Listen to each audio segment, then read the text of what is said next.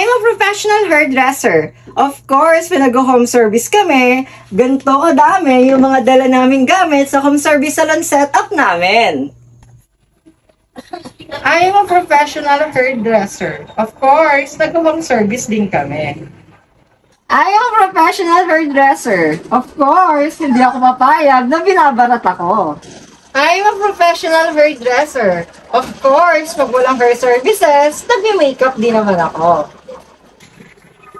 I am a professional hairdresser. Of course, kahit maliit ang bahay mo at masikip, kaya ng home service salon setup namin yan. Di ba, madam? True. I am a professional hairdresser. Of course, kailangan, pag nag-home service kami, may dala kami portable shampoo balm. Halika na, madam, wash na tayo.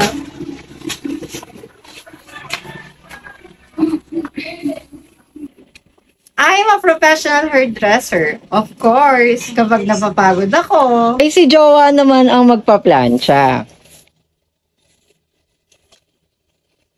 I'm a professional hairdresser. Of course, kahit mainit, nag-home service kami.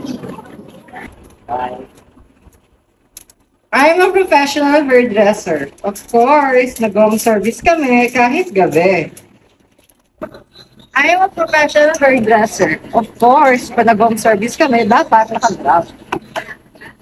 I'm a professional hairdresser. Of course, pag malapit yung aming sa servicean, nagtatricycle lang kami.